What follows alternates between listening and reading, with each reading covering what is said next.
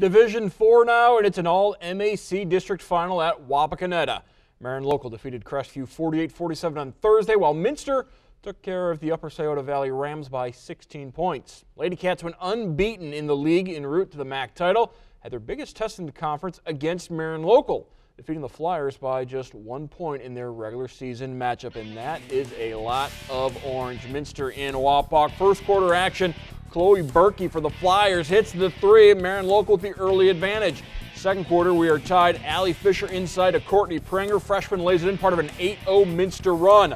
Flyers respond. Allie Pruder eyes it and flies it. Three is good. We are tied at eight apiece.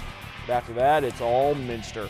Lindsay Ruckerman drives, hangs, and hits. Four-point advantage for Minster. Move to the third quarter now. Leanne Huelsman from behind the arc hits the three.